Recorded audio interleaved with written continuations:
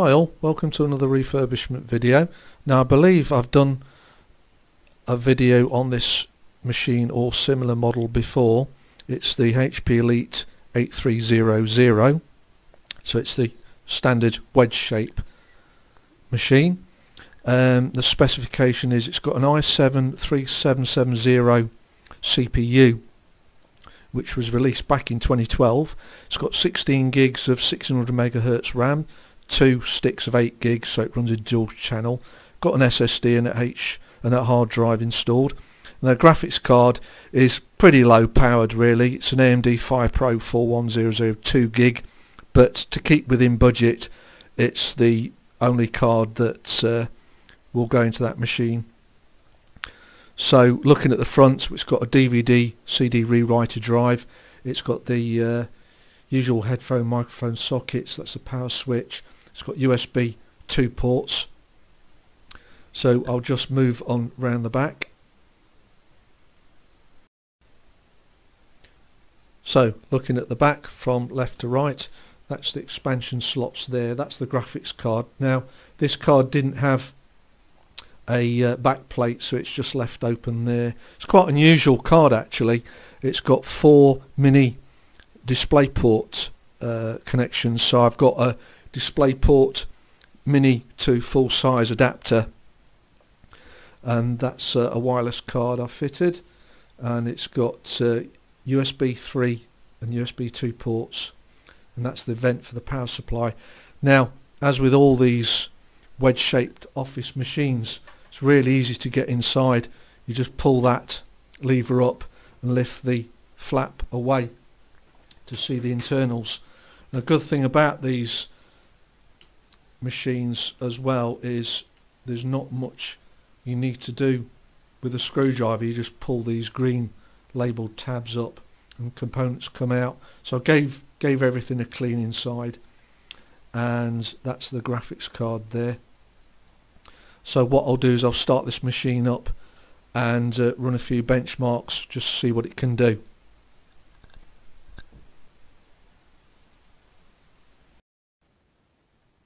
So I've run the two graphical benchmarks, Heaven and Valley. The first set of figures for Heaven, without Bandicam recording, we're getting a score of 907. And with Bandicam recording, we're getting a score of 836.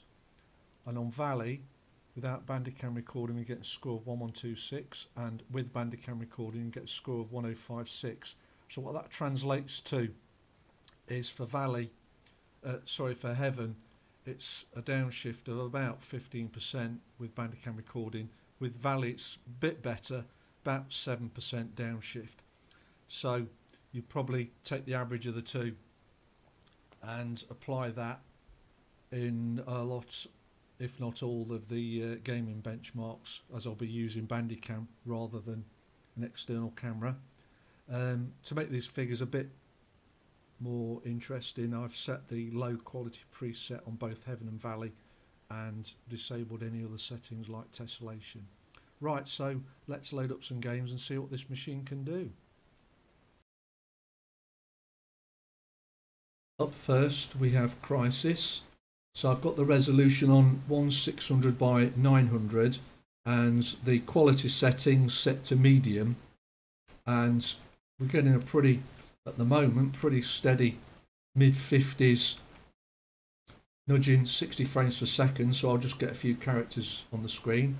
So I suppose there's quite a lot of headroom to get that resolution up and maybe change some of the quality as well depending what your preference is. But on this size monitor as I keep saying 1600 by 900 medium looks just fine to me um, with a lot of action, it keeps above 50, occasionally dips down to late 40s.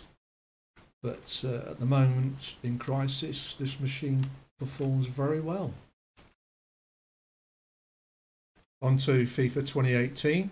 Now I've taken the medium quality preset and it's pretty solid late 50s, 60s during the cutscenes, the frame rate goes down to about 30, but that's not too much of a problem as long as the in-game play is decent enough. And I think without Bandicam recording, you're pretty solid at 60 frames per second. Now this machine may even play the uh, later FIFA games at respectable frame rates, so feel free to try those as well. Okay, so that's FIFA 2018. On to Fortnite. Now I've got this on a cap of 30 frames per second because I wasn't sure if there was going to be any stuttering. So it's always best practice to cap that frame rate if you do get stuttering. And it's pretty rock solid at 30 at the moment with no other characters on the screen, just driving around a bit.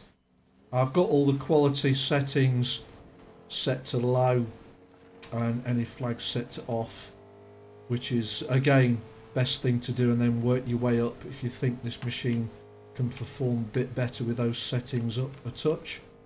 I haven't got the resolution on the lowest though, so I think looking at it as it stands, you've got uh, a bit of headroom I think to uh, change those settings, but it looks alright to me on this sort of monitor. There's no other characters on the screen though, so be prepared for frame drops once there's a firefight going on. Okay, so that's Fortnite. onto racing game, Forza Horizon 4. So what I'm going to do in the in-game settings is set everything to low and any off on off flags switch those switch those off and I'm going to cap the frame rate to 30 and what I'll do is I'll run the in-game benchmark and see what results we get. So I've run the Forza Horizon 4 benchmark and we set a target of 30 frames per second and we achieved 27 so it is playable but looking at the in the center part of the screen it looks like that uh, graphics card is the uh, is the taking the performance hit unfortunately on this system. Um, video memory is getting close to be exceeded.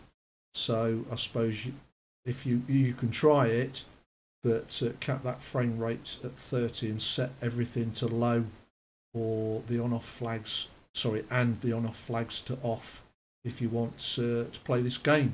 Definitely won't play Forza Horizon 5 okay so that's Forza Horizon 4 okay so that's the HP Elite 8300 so I think after one of those benchmarks, that graphics card's really holding this machine back. But as I said before, to keep within budget, it was the only card that uh, would fit this specification. But uh, something like low profile 1050 Ti or even a 1650 may do a better, well, almost certainly do a better job. So if you've got any queries on this machine or any benchmarks you'd like me to report back on, just let me know. Thanks for watching. Don't forget to, to uh, subscribe.